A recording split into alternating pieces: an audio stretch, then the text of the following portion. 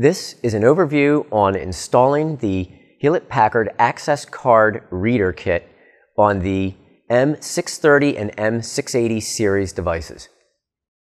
The first thing you need to do is remove the access cover that's located to the left side of the touch panel.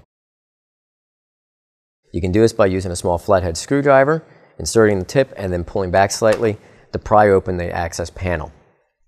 You then want to use a black cable that's in the kit that's about four and a half to five inches long. It's going to have a white coupler on one end and the other side will be labeled B USB. This side, the side labeled B USB, will insert into the printer down in the front corner here and connect. You just want to push it in until it connects fully. You then are going to connect the actual card reader unit from the white port to the white coupler here. Once again, you just want to install it until it goes in all the way. You then are going to insert the cover over top of the card reading, a unit. And what you're going to do with this piece is it's actually going to go in at an angle and then snap into place. And then you just want to kind of tuck the wires underneath of it.